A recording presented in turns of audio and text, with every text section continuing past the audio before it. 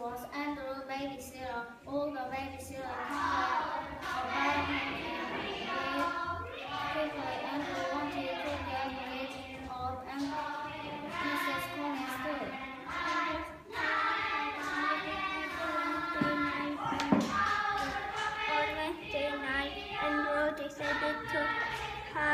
from the new babysitter.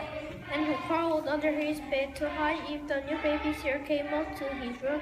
He would jump, jump out and scare her, but no one came to look for him.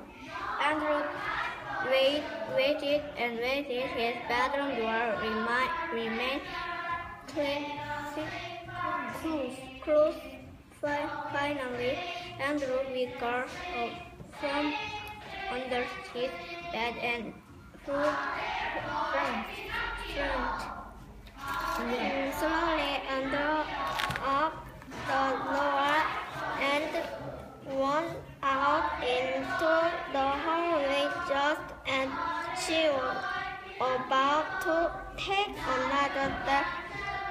The lights went out.